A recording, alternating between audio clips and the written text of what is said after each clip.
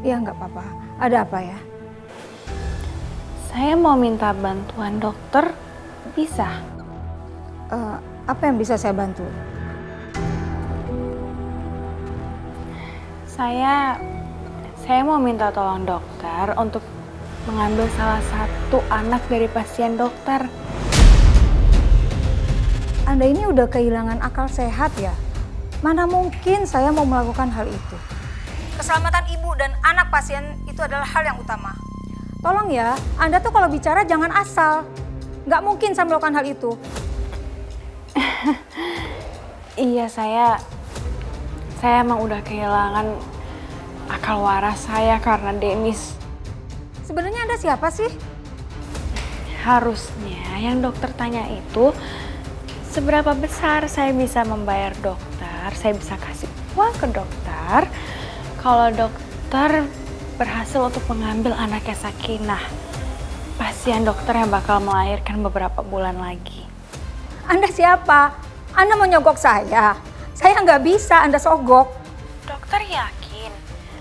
Padahal saya mau kasih dokter 50 juta loh dok. Anda benar-benar sudah keterlaluan ya. Anda kira Anda... Uh,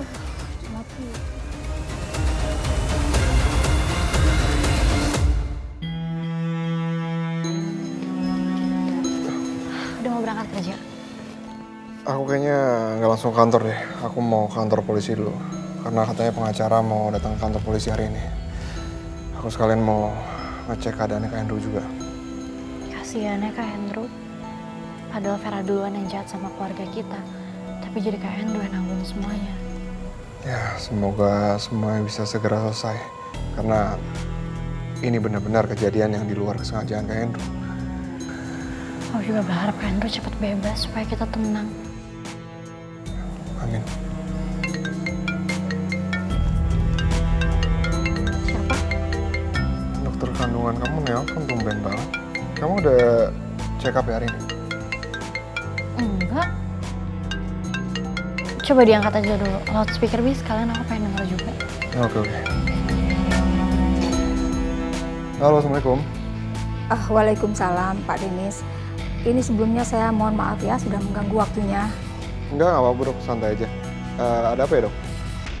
Eh, begini Pak, saya mau memberitahu. Barusan saya dihubungi oleh seorang perempuan yang menawari saya uang 50 juta untuk mengambil bayi Bu Sakinah setelah melahirkan nanti. Lalu bayinya diberikan ke perempuan itu, Pak.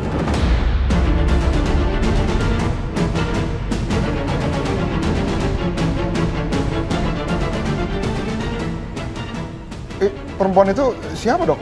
Dia tidak mengatakan identitasnya, Pak. Terus eh, dok kalau boleh tahu, dokter bilang apa?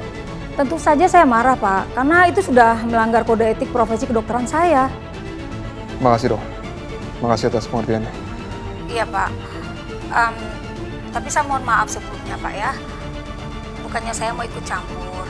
Tapi karena saya sudah terlibat dalam masalah ini, saya jadi ingin tahu ada apa sebenarnya. Kenapa perempuan itu berniat jahat sama kalian?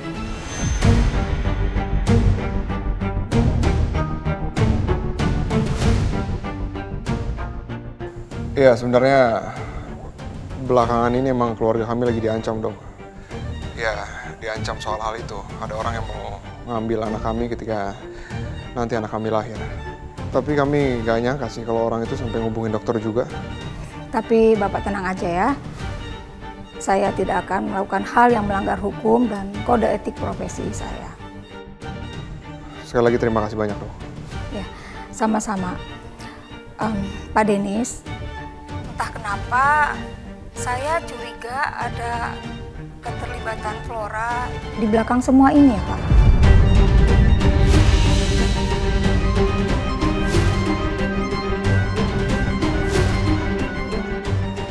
Kok dokter bisa menyimpulkan kayak gitu? Karena tadi dia bilang kalau dia sudah nggak waras itu karena Pak Denis.